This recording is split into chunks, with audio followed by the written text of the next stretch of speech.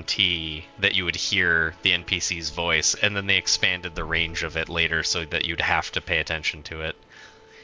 But there's an NPC here, and thank God for like 3D sound, because you can easily find out where he is. You, you there? Could you help us out, Cully?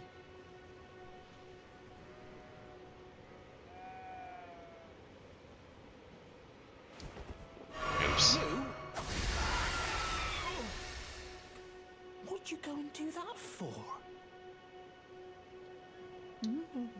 Oh, yes. I remember. Some clod turned me into a tree. You were just breaking the spell, weren't you? Thank you. The name's Boc. I was pushed out of the cave. Told not to come back. Not ever.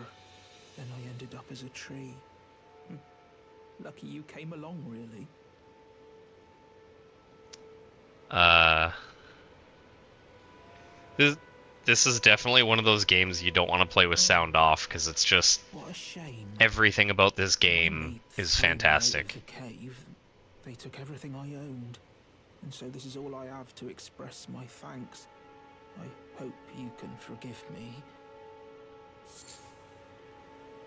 He gave us 10 mushroom. Or, well, if you can afford to wait for a while, I could sneak back into the cave and bring back something of actual value. Then I'd be of some real use to you, I reckon.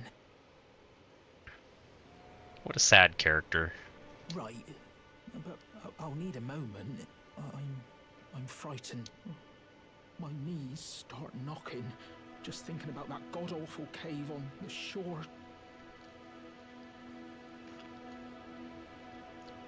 Right, Okay, there we go.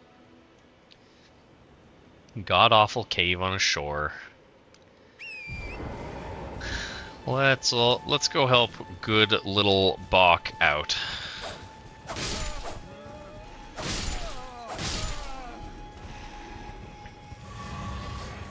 Hmm. So one other thing that I really like. God seems unhappy. This game isn't one to bring up your mood, it seems. Um. Yeah, well, I mean, their entire world is like half in shambles because the one person that was ruling the world that had the Elden Ring, like, when they were gone, the Elden Ring got shattered by one of the other, like, lords of the game, and then everyone fought over the individual shards that that created and because of that, all the shards held their own fraction of power, so everyone used the power within that to like twist and dement sections of the world to to the way that they saw fit. So I mean, yeah, I don't really think everyone would be too jazzy. The whole situation isn't exactly amazing.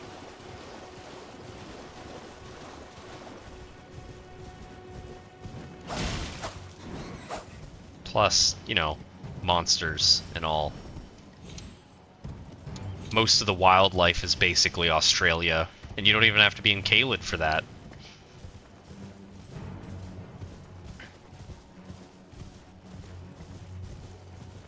But let's see. What do I have to fight in that cave? Oh my god, I just remembered that's gonna be so fun.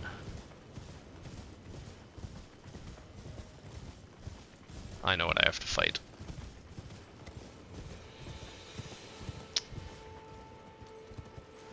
And I know what I'm gonna do for a little bit. So he said that there's a cave, uh, or like a shore, a shoreline cave.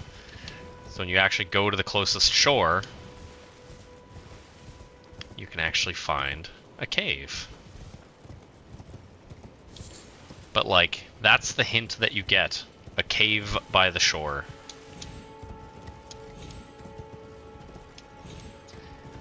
Funny thing is, when I did my first playthrough, uh, I actually found this cave before the quest with him, like before I saw him. So I ended up having to go back and re-clear the cave twice. Because, pfft, why would I know?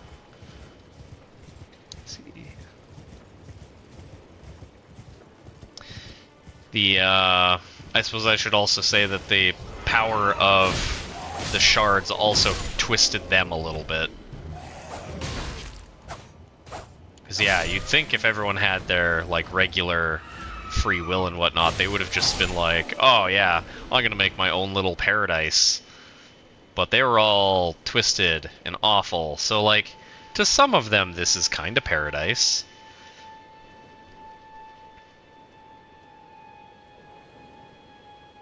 What are some of these messages? Light required ahead, by the way, good luck.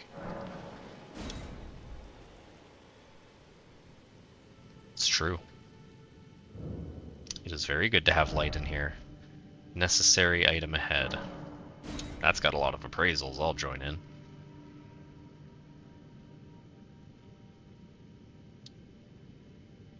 So, when you talk to... Well, it's not even that your it's not even that your character wants the whole thing. You've been advised that you have to rebuild the Elden Ring to fix the world, but having the whole thing doesn't twist people. It's just they they were already a little twisted as well. But we're gonna rest, and now that we've rested, the world is like, oh yeah, I can't blame you there. But uh, hopefully you'll see some fun stuff, Audrey, because this is a great game, and I just love playing it. Um, but feel free to lurk. I'll be talking a lot for Joe's sake as well. Oh, as a side note, while you're lurking, did you watch that uh, that uh, game theory about uh, Tom Nook and how he's maybe not that bad? Oh.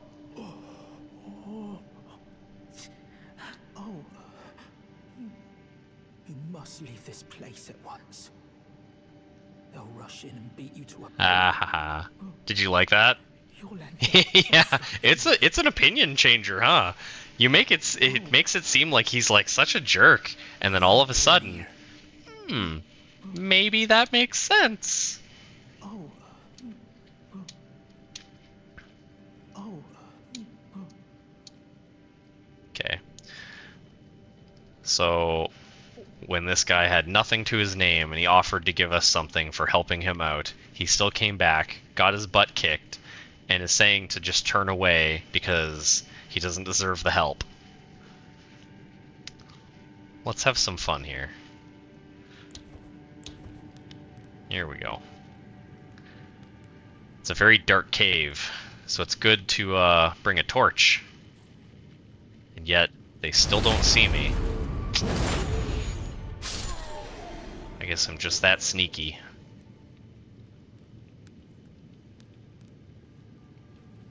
Man, this torch is really effective. Oh, these ones see me.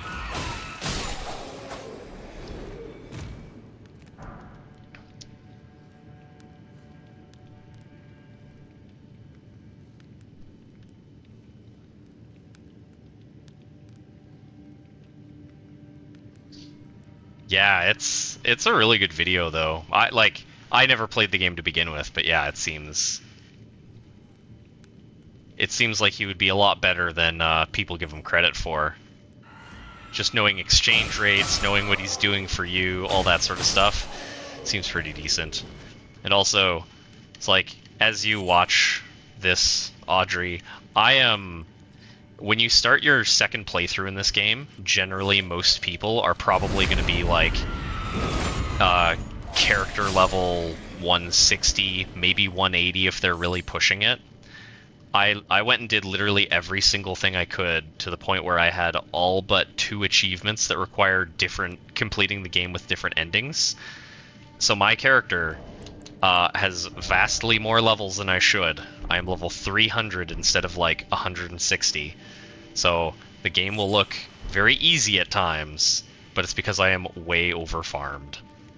But it means I can just make the rest of the game uh, just look fun, which is nice.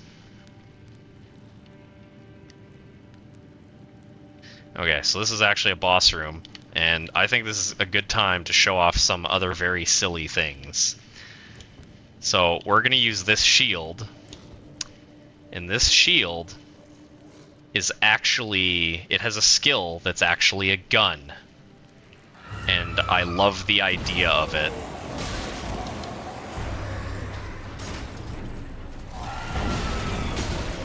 Or maybe not a gun, but a cannon.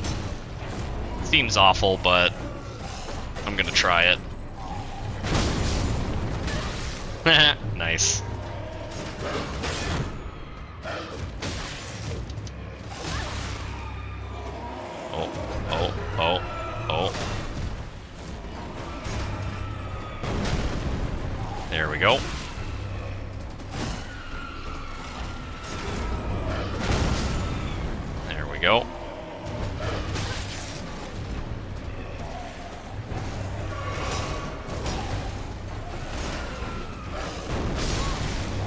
One down of the two bosses. Oh my god.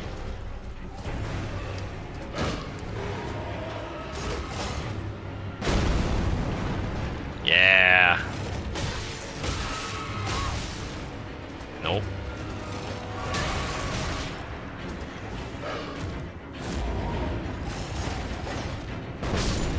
There we go. Now that the bosses are dead, all these other enemies are afraid of us. It's such a fun little thing that killing the leader just instinctively makes them a fuck again. Now the bosses dropped a sewing needle. That sewing needle is what he wanted. Oh. What are you doing here? You must leave this place at once. They'll rush in and beat you to a pulp. Oh, You'll end up just like me. Give Wait. Boc the sewing needle. Is that what I think it is? You got it back for me. My sewing needle.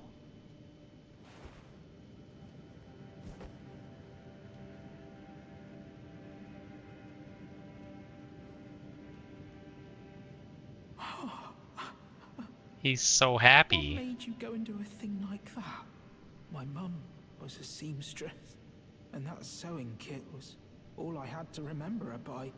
I always wanted to be just like sweet old mum. Then I s- suppose I I can't just curl up and die, can I?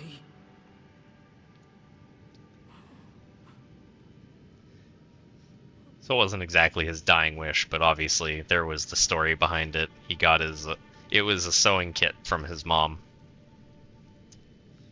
Technically, we don't get a ch- don't get a say.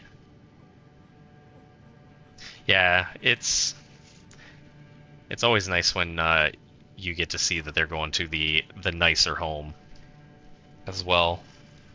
Good, loving family and whatnot. Thank you, very kind. I always wanted to be a seamster like like my mum. Then I suppose I I can't just curl up and die, can I? Thank you. You're very kind. I always want. Then I. Okay. Boc is happy. We've made his day. He'll uh he'll get to go and be We'll find him somewhere else as well. Back here.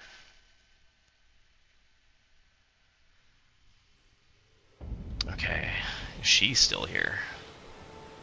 She is. I'm gonna change up my gear again, because I am picky